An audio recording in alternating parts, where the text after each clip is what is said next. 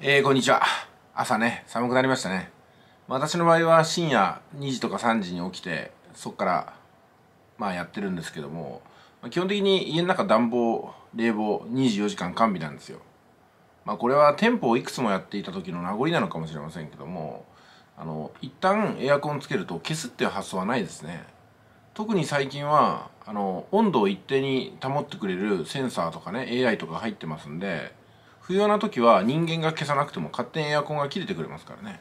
でずっと一定温度になってると例えば26度に設定をしておくとね23度ぐらいに下がった時に自動的にまた電源入って26度前後に戻してくれるんですよ。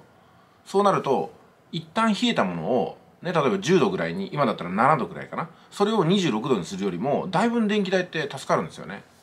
でそもそも電気ってつけた瞬間がだいぶ漏電して放電してえー、無駄になっちゃいますからつけっぱなしの方が効率がいいんではないかなって思ってるんですよ。わかりませんけどね。でも結局私の場合は店をやってる時でも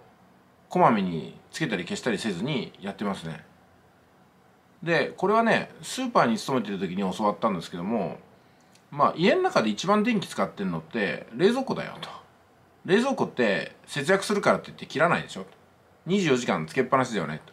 10年も20年もつけっぱなしじゃないと。で多分家の中でかなりの割合を占めてる電気代が冷蔵庫だから他の蛍光灯をこまめに消したりとかねエアコンつけたり消したりとかするぐらいでは全然賄えるぐらいの、うん、なんかその労力に見合った節約にはなんないよっていうふうに言われたんですよ。でそれも確かにそうかもしれないなと思いながらも実際に自分が店舗を運営するようになったらね、まあ、確かになみたいなところがあって、うん、だからこまめに電気を消すとかそれに対して意識を向けるってことを考えるよりも、まあ、常にね住環境は温度一定にしておいた方がいいのかなとかね思ったりするんですよね。もちろん何日も家を空ける場合とかは別なんですけども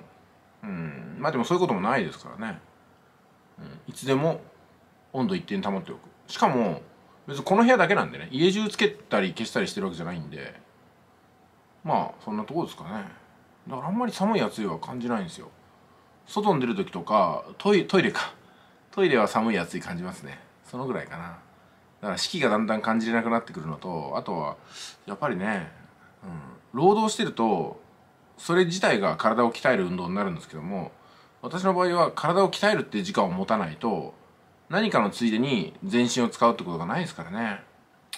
だから体弱らないようにしとかないといけないかなってことですね。うん、うん。まあ、いわゆる何が言いたいかっていうとね生活習慣とか労働習慣によって注意しなくちゃいけないことが変わるってことですかね。あの一生懸命労働してる時は食事の時間を確保することがすごく大事だったんですけども今はどちらかというと時間がたくさんある中であのついつい食べてしまうってことを抑制したりするね。そういう意識を向けないといけないかなと。で人間の死因で特に日本はね物が食べれなくて死ぬっていう確率よりも食べ過ぎて死ぬことの方が深刻らしいんですよ。これが面白いですよね。食べなきゃ死ぬのに食べ過ぎて死ぬ事例が多くて食べられなくて死ぬって例は本当に少ないと、うん。まあ、そんな現実があるみたいですね。いろいろと立つ位置が変われば